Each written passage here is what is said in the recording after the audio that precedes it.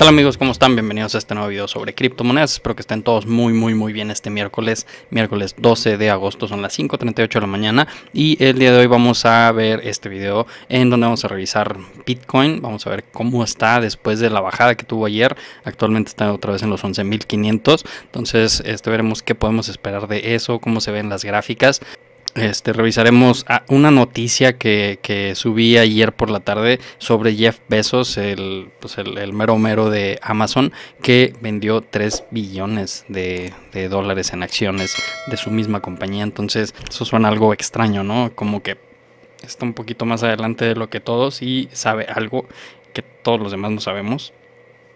Vamos a ver eh, Litecoin, Cardano, Link, eh, Ave o Lend Elrond, este, veremos su gráfica también, porque creo que es creo que es buen momento para comprar. Iris, que otra vez tuvo una subida, y Dos Network, que ayer ya eh, por la noche ya hice mi compra de monedas de Dos Network, entonces les voy a mostrar cómo puedes comprar esta monedita, que es conocida como el Link chino y que creo que tiene mucho, mucho, mucho potencial. Entonces, pues antes que nada agradecerle ya a los 4120 suscriptores, ya somos 4120, vamos creciendo rápidamente. Eh, vamos a ver si alcanzamos antes de que se acabe agosto los 5000. Estaría súper, súper fenomenal, súper fantástico que antes de que acabe agosto seamos 5000. Antes de pasar a ver las criptos, este, vemos esta noticia que Besos, Jeff Bezos vende más de 3 billones en acciones de Amazon en agosto del 2020 es extraño, ¿no? Que este, pues esta persona que tiene muchísimo dinero, este es el más rico del mundo, o, de los en el top 5 o top 3 de los más ricos del mundo, que haya vendido de sus propias acciones, como que no tiene mucha, mucha explicación, 3.1 billones de dólares, este, entonces otra vez yo creo que está viendo algo que todos los demás no estamos viendo porque pues las acciones van subiendo, ¿no? O sea, todo está bien, ya salió la vacuna en Rusia, este creo que ya se va a arreglar el mundo, pero este creo yo que hay que tomar esta noticia con un granito de sal porque no sé qué puede estar o qué implicaciones pueden estar detrás de eso. Obviamente sabemos todos que estamos esperando una caída de la bolsa, este, pero bueno. Entonces vamos a comenzar aquí con Bitcoin. El día de ayer hice un video con esta gráfica de Bitcoin con velas de 4 horas, este triángulo alcista, donde este, les comentaba que si bajaba de los 11.200 con fuerza y volumen, lo cual no tuvimos, vemos cómo sigue el volumen eh, en decremento. Aquí hay volumen más para abajo, más para abajo, más para abajo. Entonces rompió, pero sin volumen. Este, entonces, si hubiera aquí hubiéramos visto algo de volumen como está por acá, creo yo que hubiera sido muy, muy, muy eh, seguro que iba a seguir aquí una bajada de Bitcoin. Y también les comenté que si llegábamos abajo, ya sea romper o se quedaba aquí y se volvía a meter o empezaba a subir con fuerza, lo cual tampoco hemos visto mucho. O sea, si vimos que bajó y luego se mete nuevamente a este triángulo en velas de 4 horas este, y se vuelve a meter, pero no se ve mucha fuerza, no se ve mucho volumen como para que venga y rompa hacia arriba. Aunque creo yo que las probabilidades de que suba y rompa hacia los 12 mil dólares con este rebote y con que no hubo volumen acompañando la bajada, creo que se incrementaron este y, en al contra de que se ponga más eh, eh, negativo el tema de Bitcoin, yo creo que se puso positivo. Ahora si lo vemos en la gráfica que hemos estado observando anteriormente, eh, que, les había hecho este triángulo en donde les digo que probablemente la ruptura venga hasta por allá de finales de este, de este mes de agosto, el 26, 27 de agosto, por esas fechas más o menos, como por aquí. Este vemos también cómo bajó y eh, no alcanzó ni siquiera a tocar la parte baja del triángulo. A lo mejor está un poquito, lo podríamos hacer un poquito más así, para que haya venido, tocó y tiene aquí un rebote entonces, este, pues esto nos podría indicar también fuerza en los toros, fuerza en la gente que está alcista con Bitcoin, ya que vino, bajo, tocó esta línea y también, si se fijan, casi casi alcanzó a tocar la media móvil de 21 días que les había comentado que venía hacia arriba este, para dar soporte. Entonces, creo yo que esto fue una buena prueba. Este, obviamente, nunca estamos fuera de peligro y nunca estamos, nunca podremos sentirnos 100% confiados de decir, no, esto ya, ya lo superamos, nos vamos a ir para arriba, ahora si vende la casa y métela en Bitcoin, porque en cualquier momento pasa una noticia, pasa alguna situación y esto se va para abajo y nos vamos a probar los 10, 500, los 10 mil, los 3 mil, los 1000 o se va a cero Bitcoin, como muchos dicen. Pero como sabemos, el análisis técnico básicamente es analizar el pasado para tratar de sacar una estadística y probabilidad para ver qué es lo más probable que pueda pasar en el, futuro. Y ahorita con esto que pasó creo que es más probable que este nos mantengamos ya sea lateral aquí entre los 11.100 11.500 respetando esta línea abajo o bien que nos vayamos a probar nuevamente la parte de arriba o inclusive a romper y, e irnos hacia arriba. Entonces pues vamos a ver qué sucede aquí con Bitcoin que otra vez creo yo que salió, salió bastante bien. El oro, por ejemplo, sí bajó y también tiene aquí un tipo de rebote, aunque no, no se ve tan tan tan fuerte el rebote como con Bitcoin, pero muy probablemente vaya a seguir hacia arriba como eh, aparentemente Bitcoin se ve, ¿no? O sea, se ve, si, fijas la gráfica de Bitcoin contra el oro se ve muy diferente. Bitcoin aquí se ve que tuvo un pullback, pero se queda haciendo bajos más altos. Cuando el oro aparentemente aquí tuvo una bajada, rompe este bajo, aunque pues obviamente tiene este bajo, ¿no? Que no rompió y que podría fácilmente continuar su camino hacia arriba.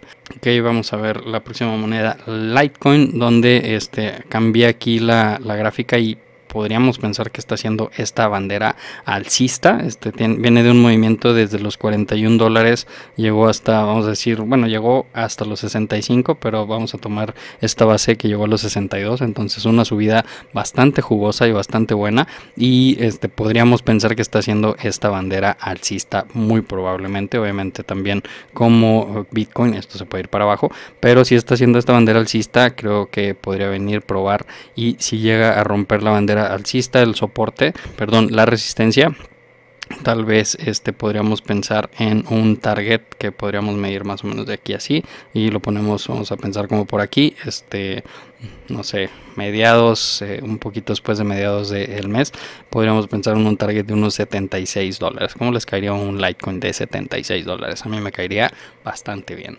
Vamos a pasar al otro lado, al lado de este DeFi de la moneda, donde tenemos un Lend o AVE que está en este canal alcista. Vemos que el día de hoy rompió ahorita en un 8.24% en las últimas horas, este creo yo que bastante bueno.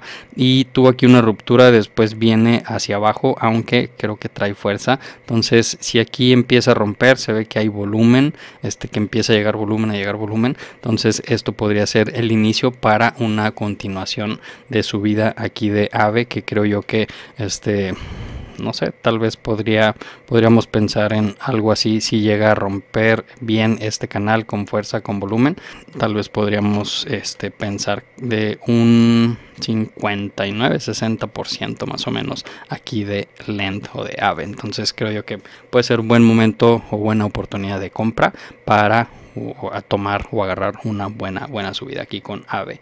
El, el que este está en este aparentemente en este triángulo ascendente que este aquí puedo tratar de, de ajustar un poquito con esto para que haga un poquito más de congruencia de sentido con estos puntos. Entonces aquí por ejemplo podemos ver que tiene prácticamente 1, 2, 3, 4 toques y este probablemente, probablemente sea un buen momento de compra, aunque también hay una gran probabilidad de que rompa este triángulo y se venga a probar esta media móvil de, de 50 días.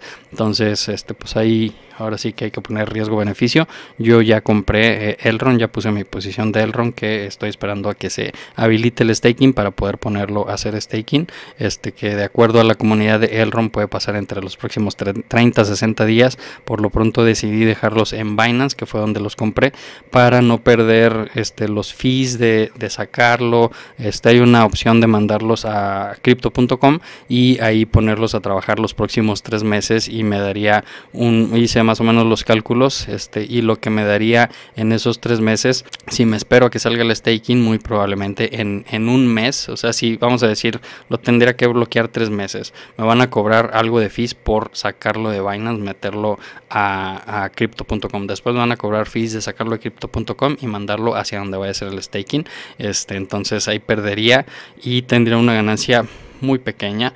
Y en el staking que hablan de un 24% anual haciendo los cálculos, posiblemente en ese mes, si sale dentro de 60 días y me queda un mes, en ese mes probablemente haría más de lo que podría ser en los tres meses en crypto.com quitando los fees. Entonces decidí dejarlos ahí en Binance y otra vez esto puede seguir bajando, es, es probable, aunque puede mantenerse ya en este rango de precio y conforme nos acerquemos más a que se libere el staking, pues esto creo que podría tener un, despegue eh, fuerte hacia arriba. Entonces yo creo que es una buena oportunidad de compra por estos momentos.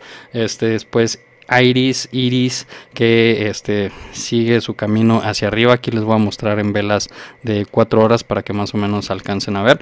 Había tenido aquí la subida este, de Antier, el de lunes, a los puntos 12.37 dólares. Después tuvo una bajada. Vino aquí a probar a tomar el Golden Pocket. Estuve a punto de publicar en la comunidad que era buena oportunidad de entrar si se les había pasado el bote, pero este, no lo hice. Les pido una disculpa mejor los que agarraron posición desde aquí o inclusive desde antes o desde dentro del triángulo los que agarraron posiciones este cuando empecé a hablar de esta moneda. Y vemos como vino aquí al Golden Pocket, va para arriba, después tiene aquí unas pruebas y otra vez está intentando romper para irse a hacer máximos este, nuevamente eh, en el día de hoy o en las próximas horas. Vamos a ver si lo logra. Este actualmente está en punto 12.19, casi casi aquí luchando para este, pasar este alto también. Entonces muy interesante lo que podemos ver aquí con Iris y que creo yo que puede seguir su camino hacia arriba. Ahora por último vamos a hablar de esta moneda 2 que ya había hablado de ella este, en algún video de la semana pasada.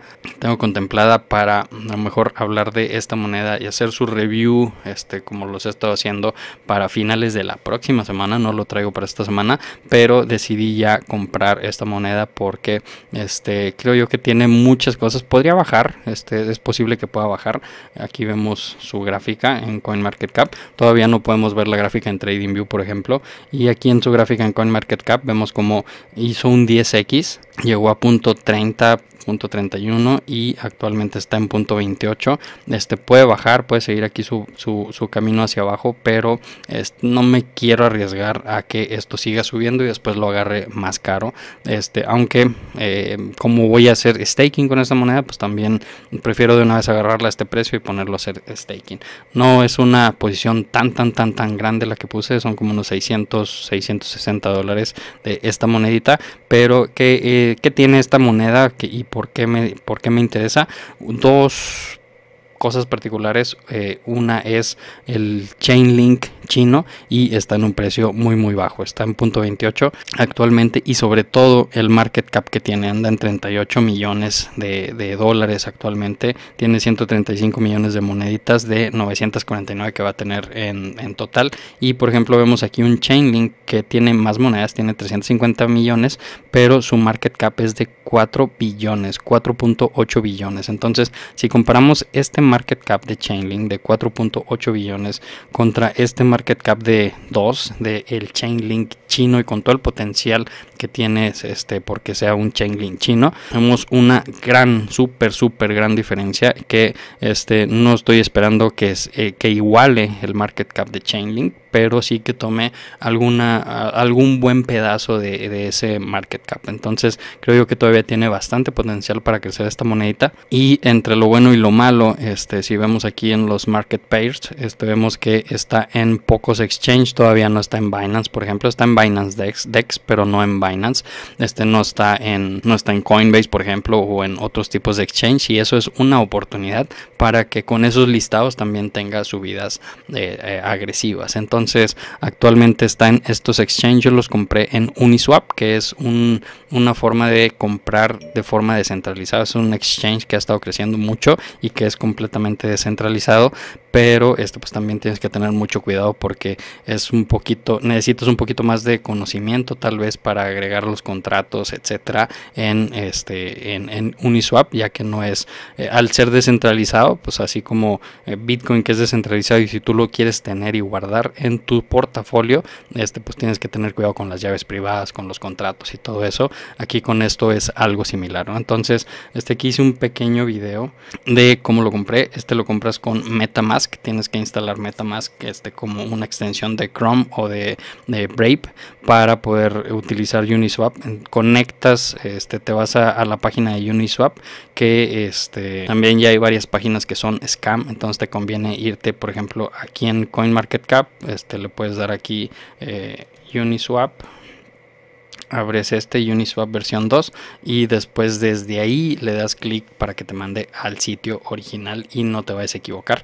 Este este es así se ve el sitio eh, agarras le, le, das en mi cuenta my account conectas tu Metamask, obviamente le mandas fondos a tu Metamask y aquí es como, como, como lo vería, ¿no? Entonces yo aquí, por ejemplo, le di eh, seleccionar token, voy a hacer trading con Ethereum y este 2 inicialmente no estaba, lo tuve que agregar. Cuando te vas a ver los tokens que hay, si no está uno, tienes que agregar el contrato, el contrato de donde lo agarras, si te vas aquí, por ejemplo, en CoinMarketCap y le das en, perdón, no en website, sino en, aquí te va a salir eh, la cadena de bloques dentro de Etherscan y aquí dice Profile Summary Contract. Este es el que vas a copiar para agregarlo en Metamask. Aquí, por ejemplo, si le doy en Metamask, que este es mi Metamask, aquí puedes ver que tengo estos, estos moneditas, ¿no? 2220 DOS. Entonces aquí yo ya lo había agregado en Uniswap, este,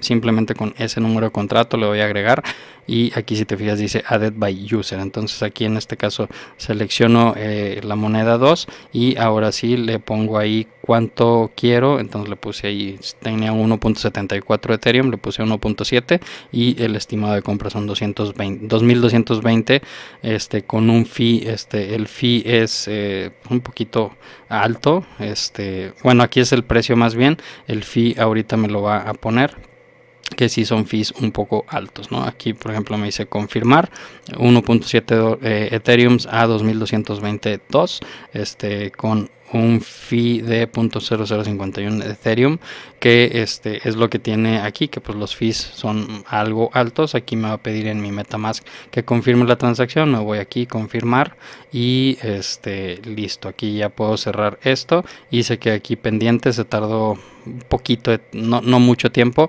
para que se confirmara la transacción y ya me llegarán los DOS a mi metamask. Inicialmente no los tenía este déjame que aquí ya no edité este video y se tarda un poquito. Inicialmente me fui aquí a mi Metamask y no me salían aquí, entonces le di en agregar token y mismo caso, me fui a CoinMarketCap, hice lo mismo que ahorita, agarré, copié este que es el contrato del token 2 y este lo agregué aquí en, en Metamask, le di agregar, agregar tokens, puse ahí el número de contrato.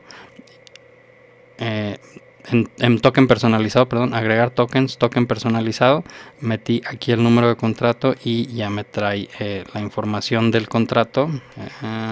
Aquí está, donde me dice ya agregado, o, aquí está, esto es lo que tienes de saldo dentro de ese contrato y ya nomás le di agregar tokens. Entonces ya quedó listo y ya los pude ver aquí en mi Metamask. Y después voy a hacer otro video para mostrarles cómo puedes hacer staking con esta monedita. Entonces se alargó súper, súper mucho este video, bastante, pero este pues les quería traer esta información para que sepan más o menos cómo pueden hacer eso con esta monedita 2 Network, cómo la pueden comprar, si es que les interesa, este si no les interesa pues ni se metan en este tipo de monedas, pero yo le veo mucho potencial porque parece, aparentemente está en etapas muy muy tempranas y creo yo que podría llegar o al menos unos 3, 5 dólares este, durante los próximos meses o años y darle un buen crecimiento a esa inversión que puse eh, en esta monedita.